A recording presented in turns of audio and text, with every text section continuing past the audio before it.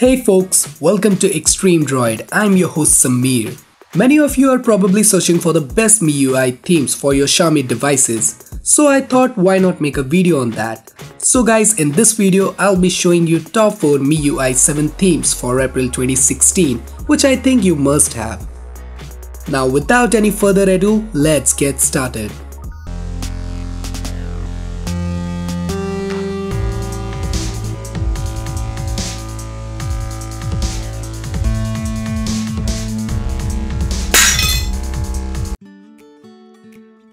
At number 4, Zenny Imitashi Blur.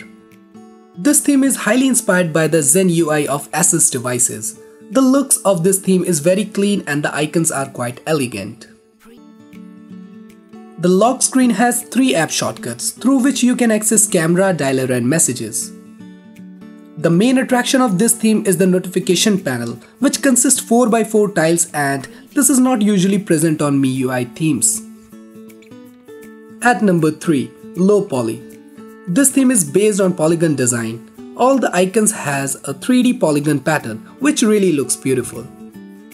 If we go to the setting menu, it has a material polygon background. The notification panel also have the same sort of background. The lock screen of this theme is very simple and clean and it has a live wallpaper with no app shortcuts. At number 2, City Limits. If you like a darker theme for your MIUI devices, then surely you are going to love this one.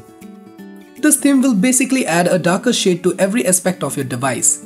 The icons are vibrant and has a material design with grey and dark green as the basic color palette and this theme is one of my favorite.